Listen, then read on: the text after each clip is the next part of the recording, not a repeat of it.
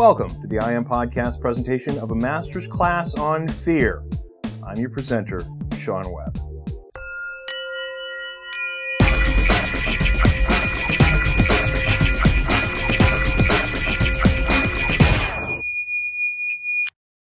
By the end of this class, you're going to understand the emotion of fear better than any psych PhD on the planet.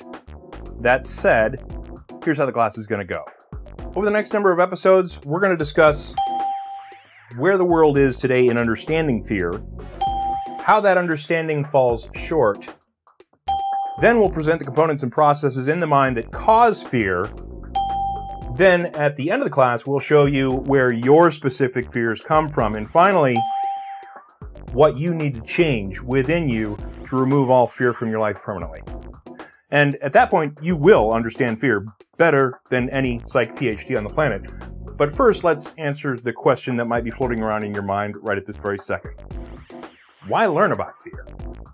Well, in short, fear sucks. Fear is the response that, left unchecked, inhibits us from taking action to create an existence of happiness, joy, and fulfillment. Fear of change helps keep us rooted in the same old life ruts. Fear of messing up keeps us from trying new things. Fear of getting hurt keeps us from forging those great relationships with family and friends and romantic interests that are so nourishing to our souls. Our fears can keep us from ending a bad relationship, a bad job, a bad financial situation. In short, when all other excuses fall away, it's fear that's one of the underlying primary sources of pain and suffering in our lives. But what exactly is fear? Where exactly does this destructive, paralyzing force that sucks the courage out of life come from? Specifically, what causes it? And more importantly, because everyone's just a little bit different, what specifically causes fear within you? Well, today we start that journey to answer those questions. By the end of this master's class on fear, you will not only understand the comprehensive definitions and permutations of fear, you'll understand the unique mechanisms within you that cause your unique set of fears. You'll better understand how fear limits your life and you'll understand what must be changed within you to remove fear from your life completely and permanently. So let's get going.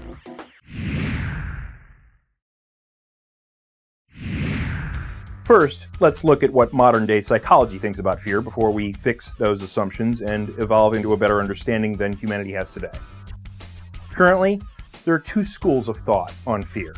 The first comes from the neuroscientific community, which says fear is a function of the brain that is an evolutionary trait developed through natural selection over millions of years. The second comes from the psychological community, which says fear is a learned emotional response that is developed through interaction with people and the environment. In the neuroscientific camp lies the supporting evidence of natural fears that exist within us, like the startle response in a baby's natural fear of heights. In the psychological camp lies the supporting evidence of the subjectivity of fear, how two different individuals can be afraid of completely different things, and how some fears can be learned to be overcome. Well, the reality of fear is that it's a mixture of both the neurological and psychological definitions, mixed in with some extra stuff that neither side has discovered to this point. However, that said, with some very recent studies that were published just a couple of months ago, they are on their way to discovering those things. But that said, there are still huge gaps in understanding that both the neurological and psychological experts are missing about fear. For instance, the neurological folks are overlooking the consciousness of the cells themselves, and the brand new research that says conscious attachments of the cognitive mind can and do influence emotions. Their theory is partially disproved by the fact that different people become fearful of different things, and fear can be overcome. That doesn't lend itself well to the evolutionary fear model. The psychology folks are lacking in their view of a big picture model that allows for both innate and subjectively learned fears to coexist in science. For instance, they believe that fear is a learned response. However, one of the first tests that a doctor will perform on a brand new baby after he comes out of mommy's belly is called the Moro. And the Moro is where the doctor picks the baby slightly up off the bed and drops him down suddenly, triggering a response of flailing arms, which is assumed to be the baby's reaction to try to catch itself from falling. This is a natural fear response that is outside the current explanation that psychology has on fear. So, what psychology doesn't understand about fear is that the fear response itself isn't actually what is learned, it's just the triggers that are learned in each individual. And neither side has a model to explain both sides of the equation. So, you'd think a master's class on fear would be able to produce such a model, right? Well, of course. And here it is. This is our working mind model. It lays out the components of the mind that create our conscious existence. The ones we're interested in are down here. These are called the emotional influence system. And it's the operation of these four components that create every emotion you have ever and will ever experience. See, fear has a specific rule set that when the characteristics of the emotional influence system are meeting that definition, fear is generated within you. 100% of the time, without exception. And this little fact is what blows all current understanding of fear out of the water.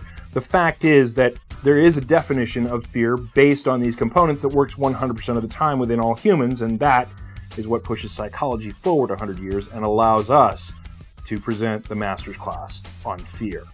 Regarding the emotional influence system, the four components are the equation of emotion, the definition of self within the mind, otherwise known as ego, attachment strength or attachment level, and finally, the valuation or valence adjustments of those attachments. Now, admittedly, this sounds much more complicated than it is. It's actually very easy to understand, and after you do understand it, you'll have a better command of fear in yourself and others than any emotional counselor could teach you for thousands of dollars in private sessions. And so next week, we'll pick up right there with the mind model and the components that create fear and generate your specific personal fears. Then in the coming class episodes, we'll move on to how you can manipulate the model so that you can manipulate and eliminate fear from within you. Wouldn't it be nice to be able to live a fearless life? So we'll see you next week. Thanks for being with us. And for the I Am Podcast Master's Class on Fear, I am Sean Webb.